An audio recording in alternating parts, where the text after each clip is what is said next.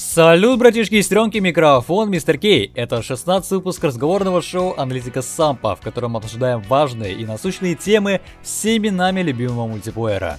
Сегодня я хочу обсудить с вами сервера ютуберов Самп и почему я считаю их, откровенно говоря, шлаком.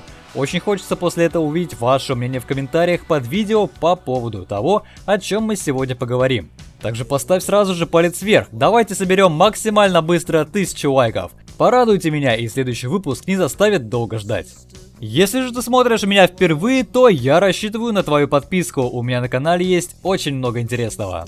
Перейдем к делу. Начиная еще с 2012 года, когда появлялись первые летсплейщики в San Andreas Multiplayer, у которых формировалась большая аудитория, начинали появляться и сервера от этих летсплейщиков, где они могли якобы играть со своими подписчиками и так далее. Такое происходит из года в год. Некоторые блогеры даже пытаются открыть свой сервер по нескольку раз. Чаще всего такие проекты долго не живут и закрываются спустя пару недель или месяцев. Всегда по двум причинам. Первая причина – маленький онлайн. Подписчики заходят в день открытия, бегают, смотрят и уходят. В последующие дни онлайн продолжает падать, пока не наступает критический момент. У одних это случается уже на этой же неделе, у других через месяц, но тенденции не меняются. Почему, спросите вы? Все предельно просто. До этого эти летсплейщики, скорее всего, снимали на каких-то популярных проектах.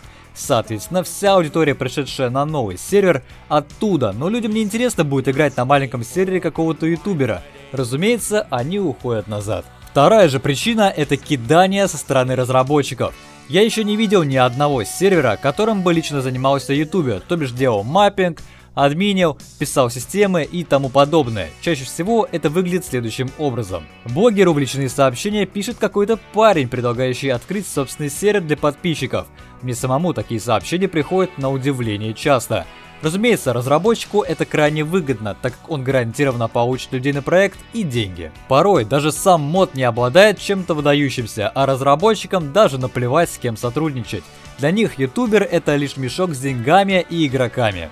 Ютубер же, соглашаясь с этим предложением, закрывает глаза на всю сомнительность человека и проекта, с которым собирается сотрудничать, из-за глупости и незнания. Надо учиться на своих ошибках и очень странно, что некоторые этого не делают, запуская провальные сервера из года в год. В общем, в конечном итоге разработчик кидает ютубера, забирает деньги себе, закрывает все связи и радуется жизни какое-то время. Блогеру остается только оправдываться, что он был кинут, потратил собственные деньги, ничего не получил и так далее. Если поищете, то найдете кучу подобных видео.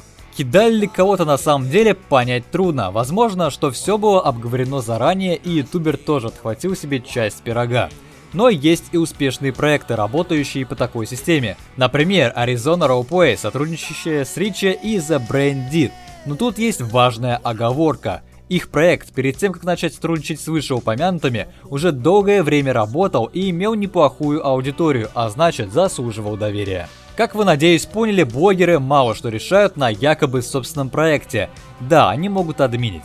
Да, они могут его рекламировать. Да, они могут советовать разработчикам то или иное. Но все равно, ютуберы остаются только шестеренкой, без которой сервер не смог бы работать, зарабатывая на своей аудитории. Перед тем, как в будущем начинать игру на подобных проектах, подумайте дважды и не спешите вкладывать туда свои деньги.